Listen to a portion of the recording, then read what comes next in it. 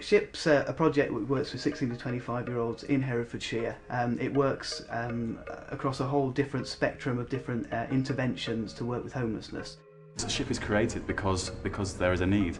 There's a huge housing problem in Hereford and especially for disaffected young people. About overcoming barriers and about them engaging in wider activities um, and for them to also to, to gain confidence in, in new skills.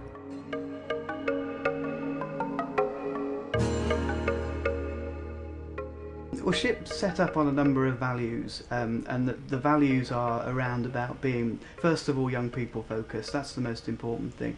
Um, being led by the young people.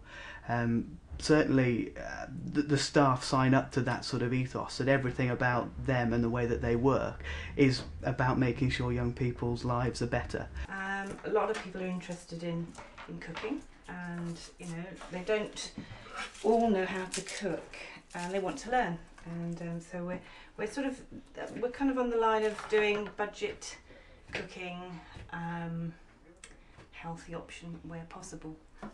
So once once we you can cook once you cook this, it might be a good idea. I don't know what you think, but get three or four of you together and um, sort of share the cost of the ingredients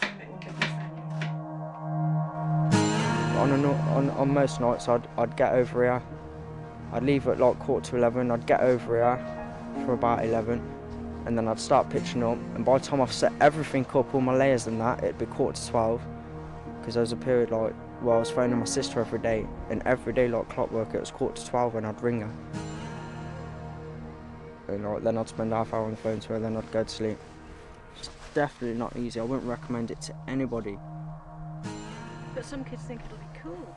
They won't be told off, they won't be told what to do, they can go and get well, put it this way, I, I thought it was cool and uh, and I'd had people who had done it speak to me about it. I, I've got friends in Coventry which have been homeless and they've said to me it's not easy and they've explained all the downfalls, they've explained all the perks and I thought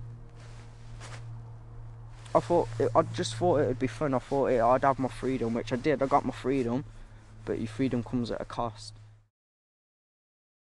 My mum moved away to France when I was 16 and um, I decided I didn't want to go with her and uh, I needed somewhere to live and my friends told me about SHYPP and told me what they did and I got in contact with them and they helped me find a place to live. Luana is our, um, an ex-service user of ours uh, and she came back to SHYPP um, wanting to help out, wanted to give something back to SHYPP and um, she was very interested in the life coaching project and so she's come on board and she is um, volunteered to become a mentor.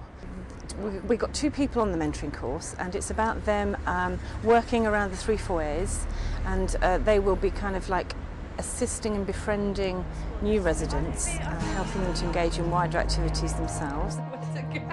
Basically, um, seeing what SHYPP did for me and other people. I mean, my sister's involved with SHYPP as well. She lives in one of the foyers. Um, made me wanted to start working with young people and um, I figured the best way to do that is to start volunteering and build up experience. What would you have done if SHYPP hadn't been around? Absolutely no idea. I'd probably be living in a cardboard box somewhere.